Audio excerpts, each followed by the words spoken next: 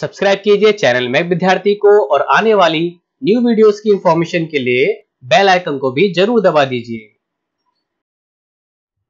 Hello विद्यार्थियों, आज हम बात करेंगे सेंट्रोग्रेविटी के न्यूमेरिकल्स की। इस लेक्चर वीडियो में हम सिमेट्रिकल सेक्शंस का सेंट्रोइड किस तरह से निकाला जाता है, उसकी प्रोसेस को समझेंगे। तो चलिए अब स्टार्ट करते हैं।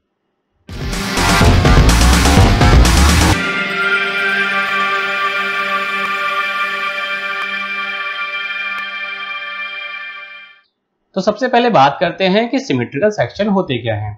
देखिए, अगर किसी सेक्शन को किसी एक्सेस के अराउंड किसी अक्ष के पर तक कट किया जाए और उस कंडीशन में वो सेक्शन दो पोर्शन में बढ़ जाए और एक पोर्शन दूसरे पोर्शन का एग्जैक्ट इमेज हो तो उस सेक्शन को हम सिमेट्रिकल सेक्शन कहते हैं और उस एक्सेस को जिसके अबाउट हमने सेक्शन को कट किया है, उसको एक्सेस ऑफ़ सिमेट्री कहते हैं। जैसे एग्जांपल के लिए आप यहाँ पर एक टी सेक्शन देख रहे हैं। इस पर एक अगर मैं y एक्सेस इस पे डाल देता हूँ तो उस कंडीशन में ये वाला पोर्शन इस पोर्शन का एग्जैक्ट इमेज आपको दिख रहा होगा।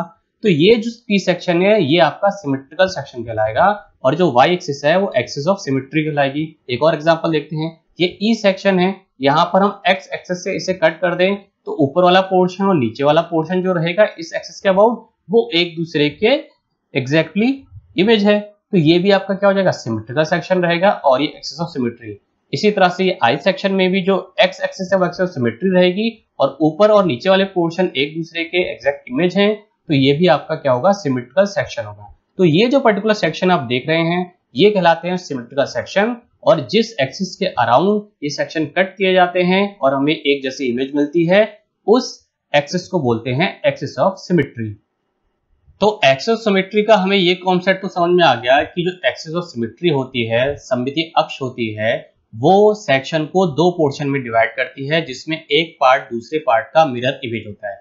अब यहाँ पर जो आपको एक पॉइंट याद रखना है कि अगर किसी ऑब्जेक्ट में, किसी सेक्शन में एक्सिस ऑफ़ सिमेट्री है तो उस पर्टिकुलर ऑब्जेक्ट या सेक्शन का जो सेंट्रॉइड होगा, केंद्रक होगा, वो उस पर्टिकुलर एक्सिस पर ही लाई करेगा।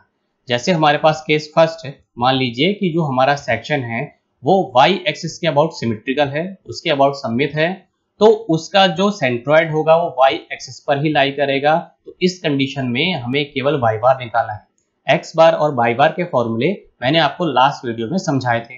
उसी तरह से अगर केस सेकंड हम देखें कि हमारा जो सेक्शन है, वो एक्स एक्सिस के अबाउट अगर सिमेट्रिकल है तो जो सेंट्रॉइड होगा, जो केंद्रक होगा, वो एक्स एक्सिस पर ही लाई करेगा। तो इस कंडीशन में हमें केवल एक्स बार निकालना होगा। तो अगर आपके पास सिमेट्रिकल सेक्शन का क्वेश्चन आता है, उसका न्यूमेरिकल आता है तो आप ये फाइंड आउट करेंगे कि वो किसके अबाउट सिमेट्रिकल है। अगर x के अबाउट सिमेट्रिकल है तो आपको केवल x बार निकालना है। अगर y के अबाउट सिमेट्रिकल है तो केवल y बार निकालना है। तो इससे आपको न्यूमेरिकल को करने में आसानी हो जाएगी। और तीसरा जो हमारा केस रहता है, जिसको मैं नेक्स्ट वीडियो में आपको समझाऊँगा, कि अगर आपका किसी के भी अबाउट सिमेट्रिकल नहीं है तो हम दोनों को निकालते हैं एक्स बार और वाई बार को भी। अब आगे हम देखते हैं, कुछ न्यूमेरिकल को सॉल्व करके देखेंगे। तो हमें एक डायग्राम दिया हुआ है, जिसमें हमारे पास एक सेक्शन है 100 M M into one twenty M M का। इस पर्टिकुलर सेक्शन के लिए हमें सेंट्रोइड को निकालना है। तो इसको सॉल्व करते हैं। सबसे पहले तो हम देखेंगे कि जो सेक्शन है, दिया हुआ सेक्शन जो टी सेक्शन है, वो किसके अबाउट सिमेट्रिकल है, कौन सी एक्सिस के अबाउट सिमेट्रिकल है? तो आप देखेंगे इसमें वाई और एक्स एक्सिस डालने पर। तो अगर हम इसे वाई एक्सिस डालें तो ये हमें दिख रहा है कि दो सेम एक जैसे पोर्शन दिख रहे हैं, जैसे यहाँ पर हमारी शेप है, वैसे ही इस एक्सिस के अबाउट यहाँ पर भी शेप है। तो यहाँ से कंक्लूजन निकलता है कि जो टी सेक्शन है, ये वाई एक्सेस के अबाउट सिमेट्रिकल है। और मैंने आपको बताया था कि अगर वाई के अबाउट सिमेट्रिकल है तो जो सेंट्रॉइड होगा वो वाई एक्सेस पर ही लाई करेगा। तो सेंट्रॉइड आपका इसी एक्सेस पर लाई करेगा। और इस कंडीशन में केवल हमें वाई बार निकालना है। अब ये जो टी सेक्शन है, ये दो रेक्टेंगल सेक्शन से मिलकर बना है, हमें दिख रहा है। तो हम इसका क्या करेंगे? दो रेक्टेंगल सेक्शन में इसको डिवाइड कर लेंगे। एक आपका पहला वाला सेक्शन यहाँ पर ये हो जाएगा वन और ऊपर वाला सेक्शन हो जाएगा टू तो इसको हमने दो पोर्शन में डिवाइड कर लिया। जो पहला वाला है, उसका सेंट्रॉइड पर्टिकुलर जी वन मान लिया और जो दूसरा वाला है, उसका सेंट्रॉइड जी टू मान लिया। तो वाई बार का फॉर्मूला दो पोर्शन के लिए क्या रहेगा आपका? A one Y one plus A two Y two upon A one plus A two जहाँ पर ए वन और ए टू क्या है? जो पहला वाला आपका रेक्टेंगल है, उसका एरिया हो गया ए वन और जो दूसरा वाला रेक्टेंगल है, उसका एरिया हो गया ए टू और y1 और y2 क्या है? आपकी जो लोअर एक्सिस है यहाँ से। हम बॉटम जो फेस है, उसको रेफरेंस लेंगे। यहाँ से डिस्टेंस होगी, ये आपकी y1 होगी और यहाँ से G2 तक आपकी जो डिस्टेंस होगी, वो y2 होगी। तो y1 और y2 क्या है? कि जो बॉटम फेस है, उससे दोनों पोर्शन के सेंट्रॉइड जो हैं, उनकी डिस्टेंस अब हमें a1 और y1 की वैल्यू निकालनी है तो पहले हम पहला वाला रेक्टेंगल देखेंगे। तो इसका एरिया रेक्टेंगल का एरिया का फॉर्मूला हमें पता होना चाहिए होता है b इंटू डी तो यहाँ पर आपको 20 100 दिया हुआ है। तो जो b इंटू डी से लेंथ और जो आपकी विथ है, उससे आ जाएगा 100 into twenty two thousand M M square उसके बाद हम निकालेंगे कि जो बॉटम फेस है, उससे यहाँ तक जो आपकी y1 है। डिस्टेंस निकालनी है हमें बॉटम फेस से। इस पर्टिकुलर जो पहला वाला पोर्शन है, उसका जो सेंट्रॉइड है, उसकी डिस्टेंस आपको निकालनी है, वो y1 कहलाएगी। तो ये तो टोटल क्या है हमारा 100 रेक्टेंगल के केस में अगर आपको पूरी की पूरी लेंथ दी हुई है या बिफ्त दी हुई है तो उसका जो सेंट्रॉइड होता है, वो एल बाई टू या बी बाई टू पर लाई करता है। तो ये 100 है तो ये जो सेंट्रॉइड लाई करेगा इस पोर्शन के लिए वो लाई करेगा Y one is equal to hundred by two पर, यानी कि 50 एम mm पर। ठीक है रेक्टेंगुलर केस में यही आपका फॉर्मूला होता है। मैंने इसको लास्ट वीडियो में भी आपको समझाया था कि बी और डी के हाफ़ पर होता है, उसके बाई टू पर होता है। अब हम ऊपर वाले पोर्शन पर आते हैं।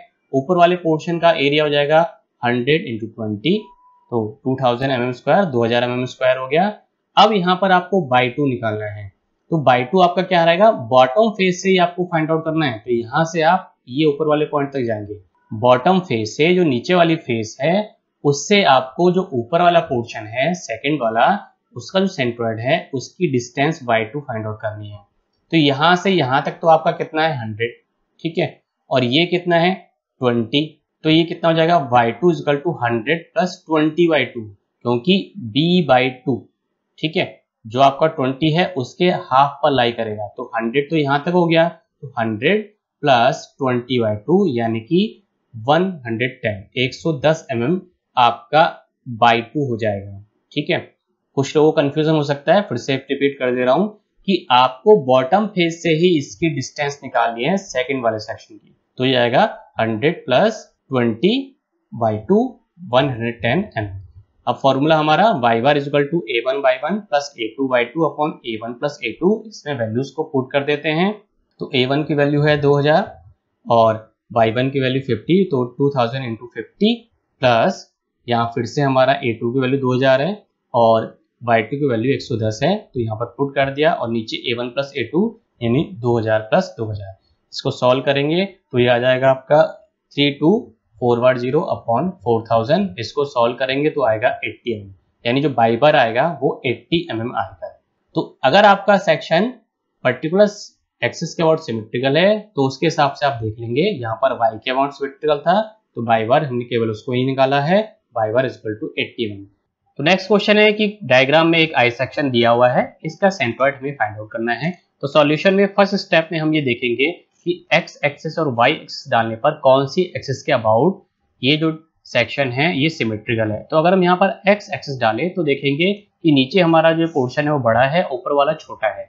तो ये डायग्राम जो है, ये एक्स एक्सिस के अबाउट तो सिमेट्रिकल नहीं है। फिर वाई एक्सेस इसमें डालेंगे सेंटर से। तो हम देखेंगे कि जैसा पोर्शन हमें यहाँ मिल रहा है, वैसा ही पोर्शन यहाँ मिल रहा है। तो यहाँ से हमें ये पता चलता है कि जो ये सेक्शन दिया हुआ है आई सेक्शन ये वाई एक्सेस के अबाउट सिमेट्रिकल है तो इसका सेंट्रॉइड वाई एक्सेस पर ही लाई करेगा तो केवल हमें वाई बार ही निकालना है। अब यहाँ पर हम तीन रेक्टेंगल्स बना सकते हैं। पहला रेक्टेंगल नीचे वाला रहेगा, जिसका सेंट्रॉइड होगा जी वन सेकेंड वन यहाँ बीच वाला रेक्टेंगल रहेगा, जिसका सेंट्रॉइड होगा जी टू और थर्ड वन ऊपर वाला रेक्टेंगल रहेगा, जिसका सेंट्रॉइड होगा जी थ्री तीन रेक्टेंगल्स है यहाँ पर, तीन पोर्शन है तो तीन पोर्शन के लिए वाई बार का जो फॉर्मूला है, वो होगा a one y one plus a two y two plus a three y three upon a one plus a two plus three जहाँ पर a one a two a three जो तीनों रेक्टेंगल्स हैं, इनके एरिया है और y one y two y three bottom face से first वाले पोर्शन की जो सेंट्रॉयड है, उसकी डिस्टेंस वाई वन सेकेंड वाला जो पोर्शन है रेक्टेंगल है, उसके सेंट्रॉयड की बॉटम फेस से डिस्टेंस बाई टू और जो थर्ड वाला रेक्टेंगल है जी थ्री जो उसका सेंट्रॉयड है, उससे बॉटम फेस की डिस्टेंस हो जाएगी बाई थ्री तो अब हम एरिया और डिस्टेंस निकालते हैं। तीनों रेक्टेंगल्स के लिए a one a two a three की वैल्यू निकालेंगे और बॉटम फेस से y1, y2 and y three की डिस्टेंस निकालेंगे। तो सबसे पहले हम पहले वाले रेक्टेंगल पर आते हैं। इसका एरिया हो जाएगा 300 hundred into hundred b into d के फॉर्मूले से तो हो जाएगा thirty thousand m m square फिर अब इसी रेक्टेंगल के लिए हम निकालेंगे वाई वन की डिस्टेंस यानी कि g1 की बॉटम फेस से डिस्टेंस तो टोटल तो 100 है। हमें पता है रेक्टेंगल का जो सेंट्रॉइड होता है, वो सेंटर पर लाई करता है तो ये हो जाएगा y1 one equal to hundred by two equal to fifty m m next a2 जो आएगा हमारा, वो सेकंड वाले के लिए आ जाएगा थ्री हंड्रेड इंटू फिफ्टी यानी कि fifteen thousand m m square ठीक है? फिर हमें बॉटम फेस से जो सेकंड वाला रेक्टेंगल है, उससे डिस्टेंस निकालनी है वाई टू तो यहाँ से यहाँ तक तो जो डिस्टेंस होगी, वो होगी 100 और जो सेकंड वाला रेक्टेंगल है, उसकी जो टोटल ये है वो है 300 तो ये सेंटर पर लाई करेगा, यानी 300 हंड्रेड बाई टू तो ये हो जाएगा y2 two equal to hundred plus three hundred by two यानी कि 250 फिफ्टी एम यहाँ हम बॉटम फेस से ही निकालेंगे। हमेशा ध्यान रखिएगा कि हम बॉटम फेस को ही रेफरेंस मान के जो डिस्टेंस है, उनको निकाल रहे हैं। अब थर्ड वाले रेक्टेंगल पर आते हैं।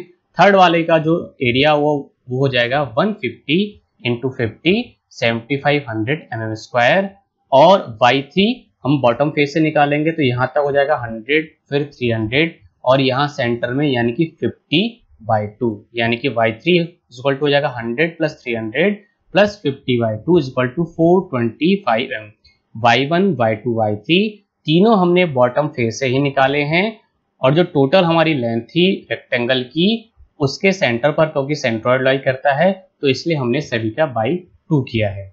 अब हमारा फॉर्मूला जो था y bar equal to a one y one plus a two y two plus a three y three upon a one plus a two plus a three इसमें हम सारी वैल्यूज़ को पुट कर देते हैं। तो बाई बार इजक्वल टू हो जाएगा थर्टी थाउज़ेंड इंटू फिफ्टी फिर ए टू बाई टू की वैल्यू है fifteen thousand into two fifty फिर ए थ्री बाई थ्री की वैल्यू है seventy five hundred into four twenty five upon a one plus a two plus a three thirty thousand plus fifteen thousand plus seventy five hundred इसको solve करेंगे तो ये आ जाएगा eight four three seven five hundred upon fifty two five hundred इसको solve करेंगे तो by bar result हो जाएगा one sixty point seventy one m m यानी कि ये जो आई सेक्शन है, इसका जो सेंट्रॉइड होगा, वो इस वाइवर एक्सिस पर बॉटम फेस से 160.71 mm की डिस्टेंस पर होगा। तो इस लेक्चर को मैं यहीं पर एंड करता हूँ। आई होप आप सभी को ये लेक्चर पसंद आया होगा। तो प्लीज़ इस लेक्चर वीडियो को लाइक करें, अपने दोस्तों के साथ शेयर करें। और अगर अभी तक आपने इस चैनल को सब्सक्राइब नहीं किया है तो प्लीज़ इसे सब्सक्राइब कर लें, क्योंकि इसी से मुझे मोटिवेशन मिलता है कि मैं आपके लिए इस तरह के और लेक्चर लाता रहूँ। Thank you